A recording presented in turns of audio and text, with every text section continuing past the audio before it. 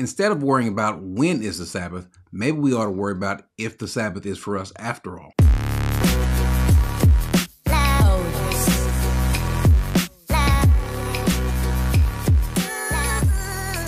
Different groups who claim to place their faith in the Bible and the words of God have this big issue with the Sabbath. One, when is the Sabbath? What is the Sabbath? What is it for? And then two, more importantly, should we keep the Sabbath? So let's deal with the first question, the easy question. This word Sabbath means seven. It's, a, it's part of the root word for seven, and it literally refers to the seventh day of the week. That is Saturday for our calendar. It's not a Sunday. It's not a Friday. It is Saturday. So that part we, we shouldn't even have a have a big issue with. The question is though, is the Sabbath made for us? Who is the Sabbath made for? What should we do with the Sabbath? But even more to the point, what has God done with the Sabbath? So before we get going, let's go and look at the Bible.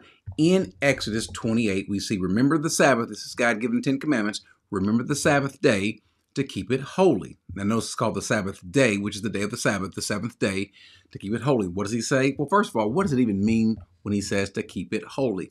Well, he's actually giving us the meaning of keeping it holy.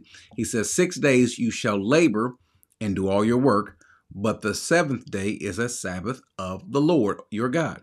In it you shall not do any work, you or your sons, or your daughters, or your male or your female servants, or your cattle, or your sojourners who stays with you. For in six days the Lord made the heavens and the earth, the seas, and all that's in them, and he rested on the seventh day. Therefore, the Lord blessed the Sabbath day and made it holy. What does that mean? Well, the only thing that we can glean from here is that he's saying holy is separated to do what? To rest. What did God do on the seventh day? He rest. He ceased from his work. And on the seventh day, what did he command his people to do? To rest, cease from their work. Notice it didn't say to observe or to do certain things on it. It just says what not to do. So if someone were to say, well, you must go to worship the Lord on that day, well, that might be fine. But again, it's not a command to do so. What it just simply says is to not do something, which is to work, rest. And the point of all of this is that the people of God would honor the Lord for what he's done. Now, interestingly enough, there's also not just a Sabbath rest for the people, there's also a Sabbath rest for the land. Let's look at Leviticus 25 4. Notice what he says. But during the seventh year, the land shall have a Sabbath rest. So in this case, even the land gets a rest. Now, there's punishment for the people not adhering to the Sabbath, and there's also punishment for the people not adhering to the land Sabbath. Now, we need to remember what this is under. This is under what we call the Mosaic Covenant, the Old Covenant. God has made a covenant with Israel, and that's important, a covenant with Israel, and it is a conditional covenant. If then, if you do this, then I'll do that. If you don't do this, then I will also repay that with punishment. Now, before we go any further, it is vitally important to understand this principle of primary and secondary application. The primary application in some of these texts are going to be for Israel and Israel only. Let me give you an example of a text that we use that is only for Israel, but sometimes we might use for ourselves. Now, could there be a secondary application of this text? Yes, there could be, but not a primary application. Here's what I mean. In Second Chronicles 7.14, notice it says, if, we would use sometimes if, my people who are called by my name humble themselves and pray and seek my face and turn from their wicked ways, then I will hear from heaven, will forgive their sin, and heal their land. Well, the question is, is that for us or is that for Israel? Well, this passage is clearly for Israel. How do we know? Because look at what the punishment is for not obeying God. Starting off in verse 17, he says, As for you, if you walk before me as your father David walked, even to do according to all that I have commanded you, and will keep my statutes and my ordinances, then I will establish your royal throne as I covenanted with your father David, saying, You shall not lack a man to be ruler in Israel. So clearly, here he's speaking about Israel. He's not speaking about mankind in general. And then here's the punishment that is certainly specific for Israel. Verse 19 But if you turn away and forsake my statutes and my commandments, which I have set before you, and go and serve other gods and worship them, then I will uproot you from my land, which I have given you. Well, the question is, is that referring to us as Gentiles or the Jews? The Gentiles, there is no land that he's referring to. Remember this very same land that God has promised them that if they obey him, that he'll make that land flourish. But if they disobey him, then they will be removed from this land with their idolatry and then even remembering the land Sabbath. After seven years, on the seventh year, the land is to be resting. In other words, no crops, nothing. Let the land rest. If you violate this, then there's going to be a punishment. What was the punishment?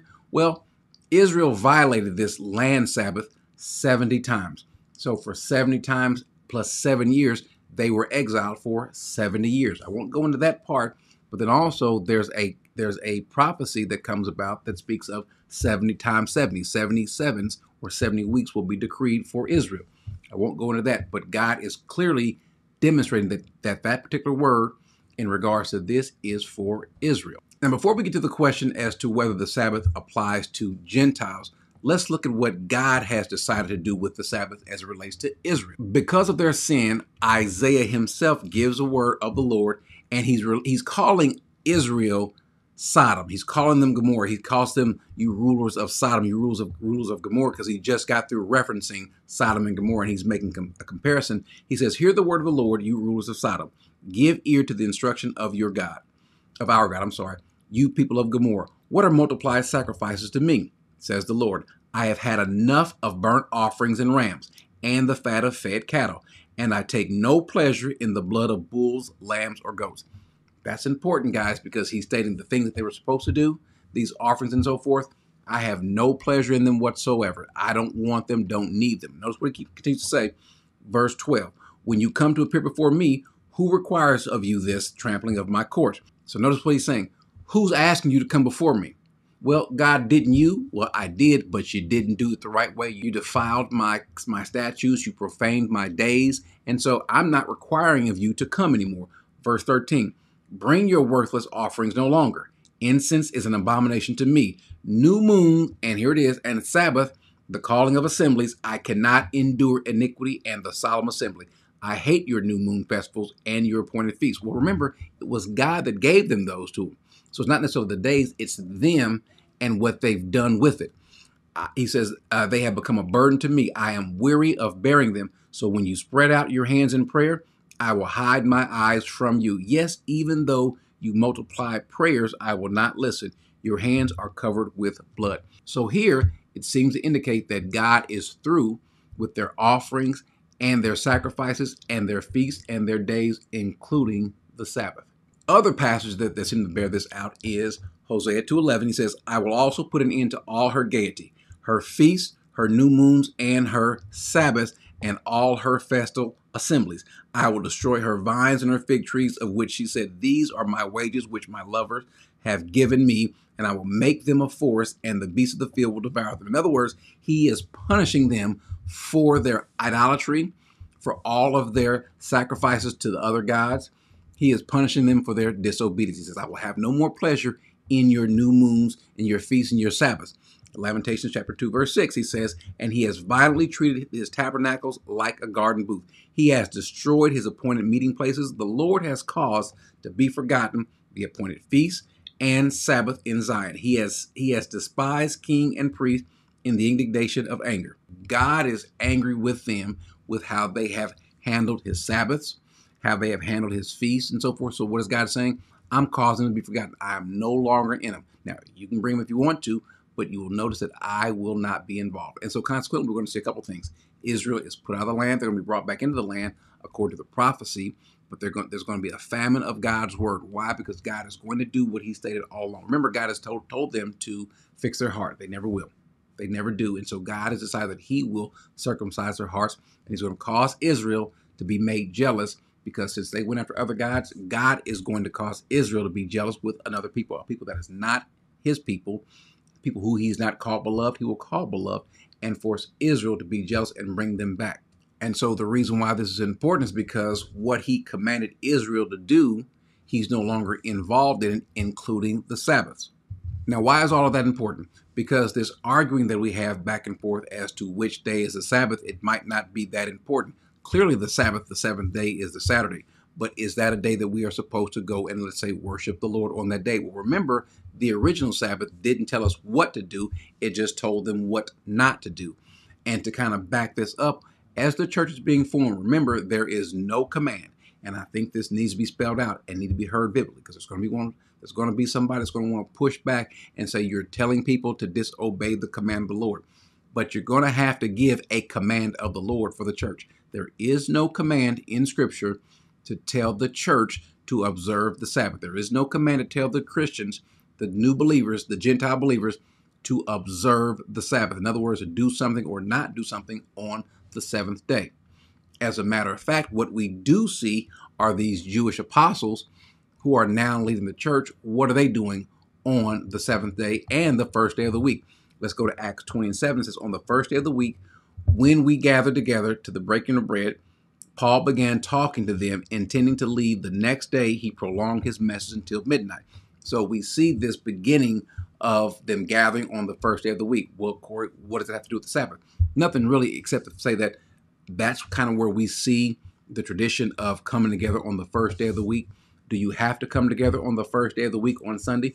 No, you do not. As a matter of fact, we're going to find out that according to Paul, I'm sorry, according to Acts, every day should be esteemed or could be esteemed like every other day. Chapter 2, verse 46, and they continue and, and they continuing daily with one accord in the temple and breaking bread from house to house did eat their meat with gladness and singleness of heart. Now, notice what he says. And they continuing daily, um, kath hemeron, which is day to day. Some verses might translate this. So every day is what they had in common the day they were coming together, worshiping the Lord, praising, breaking bread, and being a true body. This was an everyday thing. But yes, someone will say, but don't we see sometimes the Apostle Paul and others in the synagogue? Well, again, they were in the synagogue. What were they doing on the synagogue? Were they working? Wasn't the command for them to not work, to rest, to cease what they were doing? What had happened was the synagogue became almost a day of work because what did you see in the synagogue? People working, people doing things. Are you saying the breaking of bread, the word of God, is working? Not necessarily, but you see Paul certainly exerting effort, doing what? Preaching the gospel, just like other disciples, they'd be in the synagogue preaching the gospel to the Jews and anyone else that would hear the gospel. What was Paul doing every other day? Preaching the gospel on Saturday, on Sunday, on Monday, throughout the week, and again on Saturday and Sundays, repeating this as often as he could even while he was in prison. Now, if a person wants to choose to reverence the Sabbath, that's fine. There is no command to not to. In other words, it's not a sin to have a certain day where you leave it as holy, such as the Sabbath, and make that your special day. You could do that. There's no problem with that. Just like you could do the same for a Sunday or same for Monday. The truth is, there's not one day now that we should esteem over any other day. As a matter of fact, going to some of these passages, going to Colossians 2.16, notice what Paul says. Therefore, no one is to act as your judge in regard to food or drink or in respect to a festival or a new moon or a Sabbath. So no one can say if John does not want to uh, adhere to the Sabbath, but instead he wants to have his day to the Lord maybe on a Sunday or every day. No one is to judge him in accordance with that. There are no Sabbath commands for the Gentile believer. As a matter of fact, Paul even goes one step further in Romans 14 5. He says, One person regards one day above another, another regards every day alike. Each person must be fully convinced in his own mind. He who observes a day observes it for the Lord, and he who eats does so for the Lord. In other words, if you regard this day, then fine. It's up to you. You can do so, whereas someone else might not they have that freedom, they have that liberty. There is no compulsion for them to regard it the same way you do, because again, there is no commandment. And if there were a commandment for someone to observe the Sabbath, well, then we have a problem, because the church, the founding of this church, we don't see this command because there's a there's a question as to whether the Gentile believers should they adhere to the day of Sabbath. Well, in Acts 15, 19, this question is brought up and says, Therefore it is my judgment that we do not trouble those who are going who are turning to God from among the Gentiles. That's us. We should not trouble those who are among the Gentiles, but what but rather uh, we write to them that they should do this abstain from things con- contaminated by idols and from fornication and from what is strangled from blood. For Moses from ancient generations has in every city those who preached him since he is read in the synagogues every Sabbath. Now, someone's going to want to notice that the fact that they mention Moses being preached in the Sabbath, in the Sabbath, in the synagogues, he's not stating that they should be in the synagogues every Sabbath because that's not a command. He's just referencing what was preached, and these are the things that they should adhere to. But never once is the church, the Gentile church, the Gentiles ever told that they ought to keep the Sabbath. If a person wants to adhere to the Sabbath, then fine. If a person does not, fine. What did Paul say? He said they should be fully convinced. Now, is there ever going to be a Sabbath that we're going to enjoy? Sure. There's going to be this resting, this eternal rest that all of us, Jew and Gentile alike, are going to um, find ourselves in. Notice in Hebrews 4 9, he says, So there remains a Sabbath rest for the people of God. That will be Jew and Gentile. Now, this particular writing here is for Jewish believers. And so it still is going to apply to all of us because we all will find ourselves as people of God. There's going to be a Sabbath rest for all of the people of God. For the one who has entered his rest has himself also rested from his work as God did from his. Therefore, let us be diligent to enter that rest. That's the rest that we want to enter into, not a particular day, but into eternity. Let us be diligent to enter that rest so that no one will fall through following the same example of disobedience. In other words, so that we don't fall in disobedience like they did in terms of them not observing the Sabbath, them not observing the different feasts and so forth and sacrifices, so that we don't fall in that. We're not going to regard that. The Sabbath that we're going to look to now is going to be this eternal Sabbath, this rest in the Lord. So when someone says that we should keep the Sabbath, well, you cannot command or cite a passage stating that we should. If a person wants to, that's fine. If you want to do so under the old law, under the covenant, if you want to do it in that regard because it is a command, remember, Paul tells us that if you are going to keep one aspect of the law, you have to keep the entirety of the law. The problem is, if you do so, he says in Galatians 5 4, you have been cut off. If you are trying to keep the law to maintain your salvation, you have no salvation. If you are trying to be saved by keeping the law, if you're trying to be saved by keeping the Ten Commandments and every other aspect of it, once you violate one, you've lost it all. Do not do that. We have this liberty. We are saved because of the grace of God, and there is no compulsion upon us to have a, a and there is no compulsion among us to have a particular day above another day. If you want to, that's fine, but it is not a command whereby you will lose your salvation, whereby you will offend God. Instead, esteem every day high in the Lord, make eternal rest in Him your goal, your aim, and in that way, as the writer of Hebrews says, you will never fall. Amen.